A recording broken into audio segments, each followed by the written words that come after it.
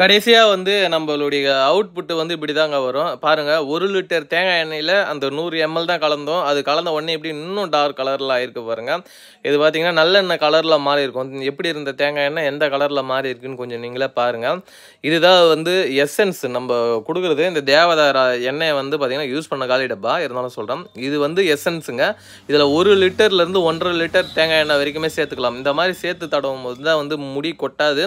முடி வந்து அலர் ஹெல்த்தியாக வளரும் அதுவும் இல்லாமல் நேச்சுரலாக கருமையாக மாறுங்க. சரிங்களா? இப்படி தான் யூஸ் பண்ணுங்க டேரெக்டாக தலையில் இந்த எண்ணெயை தேவதார கூந்தல் தைலத்தை உபயோகப்படுத்தக்கூடாது. வயக்க தலை இருக்கிறவங்க மட்டும்தான் டேரெக்டாக யூஸ் பண்ணணும்.